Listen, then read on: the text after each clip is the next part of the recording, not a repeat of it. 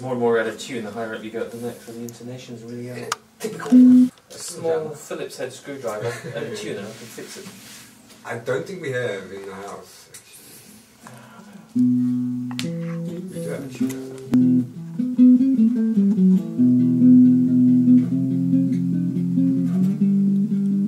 That first chord, the E is not right, I don't think, but uh, I'll, I'll go with it. Maestro. Thank you.